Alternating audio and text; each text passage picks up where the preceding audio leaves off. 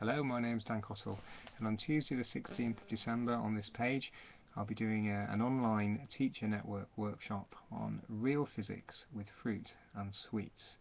Um, if you'd like to join me, this is the first time I've tried something like this, you'd be very welcome. Thank you.